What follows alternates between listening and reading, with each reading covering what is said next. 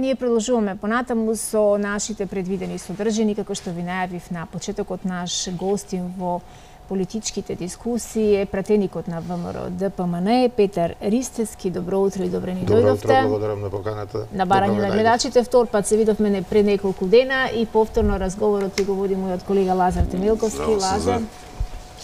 Добро утро, многу нови информации излегуваат пред десетина дена до денеска да ги заокружиме да не останеме на половина пат со темата. Така, злоупотреба на лековите, злоупотреба на правото на живот на граѓаните е нешто за кое не треба да престане да се говори се додека не излезе правдата на виделина. Предлагам да ги погледнеме кратките реклами и веднаш ја започнуваме дискусијата. Ете, ја отворивме темата за денеска. Скандалот онкологија отвори многу, многу прашања на кои што ние ви ги должиме одговорите и се надевам дека многу повеќе информации ќе добиеме денеска од нашиот гостин и се разбира од мојот колега Лазе Повели. Благодарам Сузе. Господин Елисевски, благодарам што дојавте уште еднаш да ги да ја заокружиме, како што реков на почетокот оваа тема. Денеска треба да се одржи последната седница на комисијата, на Сопринската комисија, анкетна комисија за онкологија, пошто нели следниот чекор треба да е пишувањето на завршниот извештај. Денеска повторно ги повикавте поранешниот министер Филипче, актуелниот министер за за внатрешни работи Спасовски и уште неколку функционери кои што еднаш веќе сведочат. Зошто? Па, со работата на анкетната комисија за случувањата на Универзитетската клиника за онкологија, навистина добивме доста одговори на многу прашања, доста работи се разјаснија, но остануваат и неразјаснети, затоа денеска како ба, последен датум кога треба да се заокружи испитувањето на сведоците, се повикани оние за кои мислиме дека сне, се најрелевантни и дека треба да, да дадат дополнителни одговори на прашањата. Го спомнавте екс-министерот Филипче, министерот за внатрешни работи Спасовски, директорот тогашен на клиниката Никола Васев, јавниот обвинител Јовески исто така е поканет. Мислам дека тука е кругот на оние луѓе кои а, најмногу се запознаени со злоупотребите и против законските работи кои се случувале на клиниката, во Министерството, општо во здравството, но и луѓето кои треба да а, направат а, разрешница на овој случај, да не ни се повторуваат а, во имнина вакви работи, па и на други клиники, бидејќи гледаме од извештаите на Државниот завод за ревизија дека не цветаат рози, односно ваквото криминално противзаконско работење се практикува и на другите клиники. Односно, тука е една оска која по се движи помеѓу најмојкните луѓе во државата, владата, премиерот, министерот за здравство, агенциите како Малмет, оние кои дозволуваат се тоа да се случува со увоз на лекови, лиценци, дозволи, фондот за здравствено осигурување и на крај се како најмал играч тука директорите на клиниките и клиниките кои сето тоа го спроведуваат на дело. Но ова министерот Спасовски, Јовески, обвинителот треба да да реагираат жестоко што не гледам дека во моментов го прават, затоа се повикани и уште еднаш. До сега требаше да има тука а, а, притвори за луѓе кои се вклучени во ова најгрозоморно случување во здравството во Република Македонија и оставки, јасно како морален чин пред се, но гледаме дека Еве, на пример, директорот Нино Васев, кој е директно вклучен во се тоа што се случувало на, на клиниката и кој го спроведил тоа што, што се направило, во моментов е некој раководител на клиниката и, и член на тој а, конзилиум, кој сега веќе профункционирал, онколошки конзилиум, и сепак учествува по и понатаму во доделување на терапија, има контакт со пациенти, со вработени, што секако, ако направил нешто и му овозможува да ги прикрие трагите или слично, Досега од многу релевантни а, експерти, стручњаци од областа на правото, бивши а, обвинители, е кажано дека овде морало да има по жестока реакција од обвинителството и МВР, односно морало да има изречено притвори. Бидејќи она работиме, испитуваме, зедовме компјутери, се се тоа приказки за мали деца. Морало да има реакција на терен за да се разреши се тоа што се случувало во здравството. Ќе се надоврзам вас само претходно да, да ве прашам, имате повратен одговор дали ќе дојдете вие што се поканете? Па за за дел а, потврдија присуството, дел од нив го немаат потврдено присуството, а денеска мислам дека го нема потврдено присуството бившиот министер за здравство Венко Филипче, кој во предходното негово сведочење на вистина остави блед лош впечаток, штури одговори, неповрзани и некако работи а, кои требало да ги знае, а видовме дека дека или не ги знае или сакаше да ги да ги прикрива.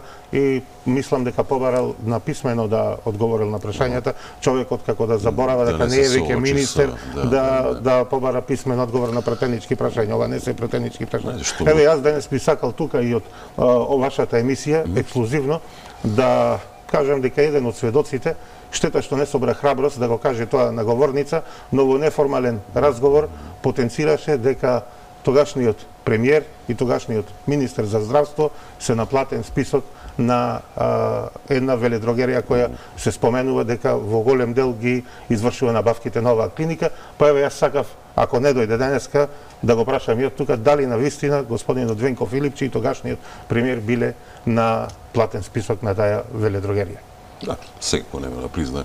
Го спомнавте Филипче. Прочитав едно интервју пред 2-3 дена на председателката на комисијата Рашела Мизрахи, во којата спомнува допис од 2018 година од министерот, тогашниот министер Филипче до клиниката за онкологија насловен наредба. И сега тој бара клиниката ја подпише договор со Министерството за набавка на биолошка терапија. Се, секој што малку од малку познава здравство ќе знае дека таа биолошка терапија прво не е наменета за секој пациент, да не објаснувам како оди процесот. И таа терапија се набавувала. Значи без согласност од стручен колегиум, без согласност од фондот за здравство. Беше ли ова спомнато сега не сеќавам јас дента кога Филипче сведочеше или ова е нов момент? А, дента не беше спомнато, но екс-министерот за доста работи и не се сеќаваше, не знаел дека се работеле, не знаел дека постојат на клиниката, не се сеќаваше како оделе дел од набавките, договорите, но во сведечењето на другите сведоци, ова беше потврдено дека без а, одобрување, одобрение од фондот, дозвола од фондот за здравство, што морало да ја има клиниката за спроведување на ваква набавка, било спроведена оваа набавка за која зборувате. Потоа, плановите за набавка на терапија се случувале без а, стручниот колегиум и без онколошки конзилиум на клиниката за онкологија во тој период, додека бил директор Нино Васев, а министер Венко Филипче, биле исклучени секакви протоколи. Не немало никакви насоки за постапување, планирање, набавка, анализа и препишување на терапија. Сето тоа било оставено во рацете само на еден човек, а тој е директорот Васев. Јас кажав и порано и во вашата емисија дека тој бил оставен намерно да прави што сака на клиниката. Тој да биде бог, да одлучува кој ќе живее, кој ќе умира, кој ќе прима терапијата, кој нема да ја прима терапијата. За толку долго да го прави ова еден директор, сигурно и се види и од сведочењата дека има политичка поддршка. А таа политичка поддршка секако дека а, ја пружа во а, најпрв а, ред министерот за здравство, бидејќи тој го поставува и тој е оној кој треба да го контролира. Најголемиот проблем е што на клиниката со дозвола на Венко Филипче во периодот додека е директор Никола Васев се суспендирани сите контролни механизми.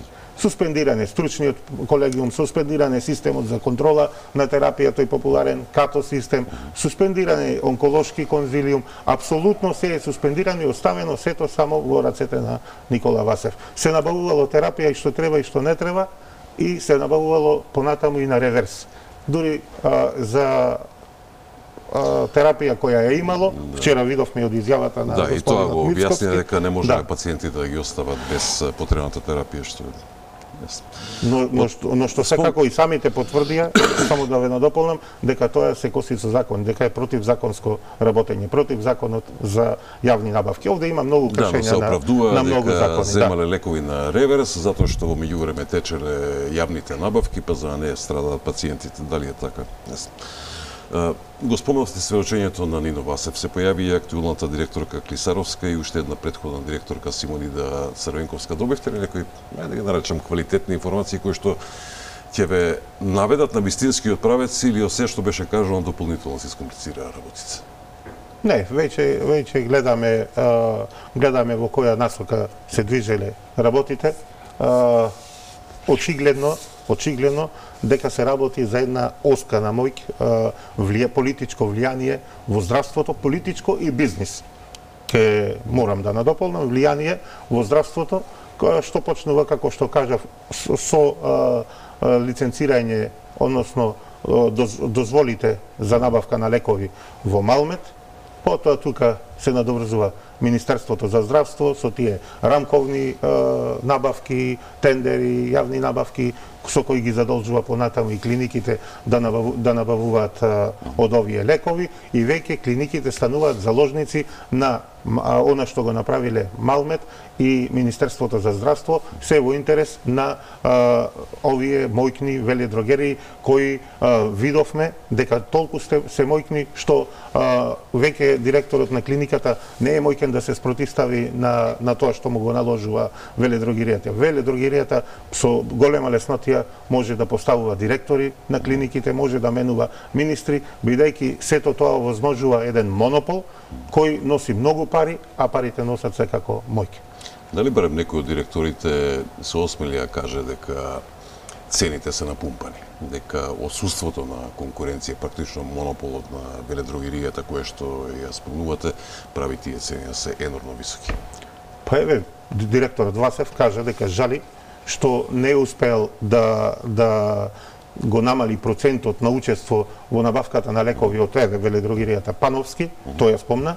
Во негово време биле некаде 42-43% од лековите се набавувале од ова од ова веледрогирија, по секако скапи цени, но кажа дека во моментов не 42, 70% од лековите се набавуваат од веледрогиите Пановски. Значи тој а, затворен круг само се проширува и проблемите апсолутно не се решени и она што се случувало во минатото на клиниката, мислам дека и, и се случува и сега. Тој затворен круг се уште си функционира. Сите знаат дека на онкологија а, имало не, разработена шема од чувар до директор. И тоа се уште си трае симптоматично е едно сведочење на едно од сведоците, директорката на Државниот санитарен и здравствен инспекторат. За мене, еве да го споделам и со јавноста, министерот актуелен за здравство Фатмир Меджити во, во неговото сведочење така беше сигурен во себе, полн со себе и кажа дека а, и во првата негова реакција ги испради в ДСЗ да, да, во онкологија да утврдат и да ми кажат што се случило. На моје прашање лично до директорката Рената Младеновска, да кажеш по испитувањето што се случило, таа кажа за периодот додека ние контролиравме. На прашање во кој период е контролиран, кажа дека од 1.1.2022 година што не соодветствува ниту со сведожењата на пациентите. Да. ниту со интересот на медиумите пишувањето, ниту со извештајот на Државниот завод за ревизија. Проблемите таму настанале од 2018 до 2021 се таложеле долговите. Не дека нема проблеми и сега, но некој го штити Никола Васев, некој го штити а, Венко Филипче, што не дозволил инспекторите да си ја завршат работата и да го контролираат периодот за кој има сериозни индикации дека има злоупотреби во тој период на но клиниката. Вчера, но вчера после обзнанувањето на оние нови детали околу оваа афера, СДСМ сега повторно го напаѓаат Мицковски дека тој ја загрозува на известен начин истрагата на онкологија. Кога е некој виновен и треба да ја понесе одговорноста, јавноста очекува дека вистински ќе ја признае вината, барем така би требало да биде, но тие напротив, тие сега напаѓаат на, на опозицијата која што во моментов се труди да дојде до вистината, но од друга страна пак е обвинета дека таа ја загрозува оставката. Можеме ли да очекуваме конечна разврска дека некогаш ќе доживееме и на јавноста и го должиме тоа дека треба да бидат посочени вистинските сторители сите оние кои што им го одземаа правото на живот на многу онколошки пациенти. Видете, има една поговорка вика кабаетот нема стопа. Се знае во уште еднаш да повторам, се знае овде кој е одговорен и кој генерирал а, ваква монструозна а, афера, ваков монструозен скандал. Не може да се извлекуваат бидејќи само власта може да го а, направи ова. Не може вакви а, работи да ги направи, мојкни работи да ги направи обичен референт или не, не знам, стражарот или сестрата што е во, што е во бегство. Овде има голема политичка поддршка за тоа што се случувало на клиниката и мора, значи мора ако сакаме да бидеме модерно општество, европска држава, мора да веќе да ја прекинеме ова култура на неказнивост. Мора да се помине а, ова а, релативизирање кој што го прави сега власта и пратениците од власта и таа реакција е само релативизирање. Оно што го кажа вчера председателот на ВМРО ДПМН е само дополнување на се грозоморно што се случувало и изнесе докази со документи, со факти, со аргументи, дека а, тако, таквото поведение на онкологија се случува и во моментов, што е навистина уште поскандалозно. Сузе, господ, јас спомнав вчерашна пресконференција на лидерот на ВМРО ДПН Мицковски, според она што го објави, тој вели дека на клиниката за онкологија имало на залих лекови во вредност од 1,5 милиарда денари, тоа се негде 25 милиони евра. Но и покрет тоа на 27 февруари повторно била распишана јавна набавка за истите лекови на залиха и на 8 мај случајен договор во вредност од над половина милиарда денари. Ги разбирам бројките. Но не можам да разбирам причината да набавувате лекови кои што веќе ви стојат некаде по рафтове или како се чуваат, не знам. Од друга страна имате лекови кои што се дефицитарни може би полесно ќе разберете ако слушните и ако ако ви кажеме за провизиите, дебелите провизии во милиони евра кои се исплаќаат за овие набавки да течат и овие лекови да се набавуваат во што поголеми количини. Тука лежи а, сето ова што се случувало на онкологија. Како што и предходно кажав, Во Малмет го регистрира лекот, добива веледрогеријата дозвола за набавка на тој лек и со тоа само таа една веледрогерија добива а, дозвола за набавка на, на тој лек. Такви веледрогери има повеќе и, и сите тие имаат монопол врз а, одреден одредени лекарства. Понатаму Министерството настапува тука со а, распишување на рамковни набавки, тендери, јавни набавки и, како што кажав, улогата е на директорите на клиниките да порачуваат што поголеми количини, она што го правел и Нино Васев и сегашнава директорка Нино Васев го правел со, со исклучувајќи стручен колегиум, исклучувајќи околошки кон, конзилиум и сите тие што ги кажав протоколи, дури земал на реверс, набавувал. И таа билошка нова терапија што а, пациентите не се знае точно ни кои пациенти треба да ја, да ја земаат, бидејќи дала а, определени добри резултати кај одреден број на пациенти, нормално е луѓето во, во потрага на спас за своето здравје да сакаат да ја примаат таа биолошка терапија и ја, прима, ја се препишува и на тие што треба и на тие што не треба, се за остварување на поголем профит. Од да. тука да. и овие бројки што да, ги прочитав ја, и овие набавки. Спомнавте Клисаровската, во незиното сведочење апелираше дека треба да се набавуваат повеќе лекови од потребното и таа го објаснува со постојаниот пораст на ново заболени од канцер од 10 до 15% годишно. Логично е барањето, набито. Се не знам што стои за тоа. Од организацијскиот директор Матоши разбравме дека клиниката за онкологија го има па рекорден до сега најголем буџет од 1,7 милиарди денари.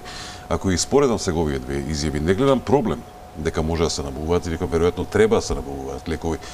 Но има ли некој систем кога се набувуваат, како се набувуваат, кој одредува или волонтаристички е се? Во моментов, од тоа што го слушнавме од сведочењето на актуелната директорка, од тоа што не функционирало во изминатите години, од првиот ден на, нези, на незиното постолање, започнал да функционира стручниот колегиум и сега, како што слушнав, барем кажува дека има некој ред понатаму во препишувањето, анализите, планирањето на, на терапијата и верувам од изјавите кои ги даде и министерот Фатмир Меджити дека во овој момент се намалувале долговите на клиниката, па наредниот ден директорот од Фондот за здравство финансискиот Миле Сугарев кажа дека не е така, дека тенденцијата на зголемување на долговите продолжува, така да не вистината се уште не ја знаеме каква е состојбата таму, но мислам дека во моментов може би стравот си го прави своето, актуелноста на веќе на оваа афера си го прави своето, дека може би се довел во ред барем тој тој пат на, на препишување на терапијата, аплицирање на терапијата и слично, но а, проблемот, како што ви кажав, понатаму е во а, планирањето и набавката сето на, на овие лекови. И недомекинското работење, што го истакна и актуелниот министер. Да ве подсетам на неговата изјава, дека 60 сите менаџери на клиниките mm -hmm. и оние заеднички служби работат недомајкински, пари од фондот има, но проблемот со долговите што се трупаат е недомајкинското работење на директорите на клиниките и сите 66 менаџери се заменување. Ако е така, не знам зошто да. се уште чека Имам министерот да, и зошто не реагира на тоа што а, а, директорката на ДСЗ го контролирала само периодот за, за 2022 година па наваму, а неговата наредба беше комплетно да се испита работењето на онкологија. Мислам една минута. Мицковски вчера откри многу детали од аферата што ја најави пред на клиниката за онкологија август 2021 до август оваа година. Лекови за онколошки пациенти доснеле, никој не испратил допис, не биле раскинати договори со добавувачи, немало контрола при аплицирање на лекови што им се даваат на пациентите. Ова се само дел од неправилностите кои што ги спомна Мицковски и тој попара во работата на анкетна комисија да биде опфатени и овој период по 2021 година како комисија ќе ги земе дали предвид на новите сознанија или денеска завршуваат. Па ќе видиме доколку има потреба од вчера приложените докази, тоа е работа што треба да се одлучи и во, собрани, во собранието. Значи, треба Комисијата за политички систем да даде дозвола дали да продолжи работата на, на анкетната комисија или да заврши тука. Но сепак, мислам дека и, и ако заврши денес, имаме доволно информации за се она што се случувало, да извлечеме заклучоци кои понатаму и ќе се спроведат на дело за да има одговорност. Овде мора да има одговорност. Ако сега се остави така, мислам дека а, нема што да бараме сите. Ако 10% од ова што се случувало што се пишува, што се кажува дека се случувало на клиниката е вистина, тогаш и како како луѓе, како како држава, како од морален, не знам, аспект се мора да тогаш да ставиме клуч на државата и толку. Ова мора да има разрешница, овде мора да има одговорност, бидејќи се работи за правење пари на грбот на животите на пациентите, на граѓаните, на оние кои е, дошле во клиниката за да бараат спас во најтешкиот период од животот, но таму добиле нешто несоодветна заштита, како што кажа, наместо лекови добиле физиолошки раствор, односно вода, што е недозволиво. И уште еднаш ќе кажам, одговорност овде мора да има. Благодарам многу а, за дошница. Нека почиваат во мир сите оние пациенти кои што може би денес би биле живи, би биле меѓу нас и би добиле право на на излекување, но се надевам дека целата ова афера која ја потресе јавноста ќе добие разрешница и дека сите заеднички ќе смогнеме сили да бидат посочени имињата на сите оние кои што им го одзедоа правото на живот на многу многу онколошки пациенти во земјава. Ви благодарам уште еднаш со некоја следна тема повторно ќе бидете дел од нашата програма.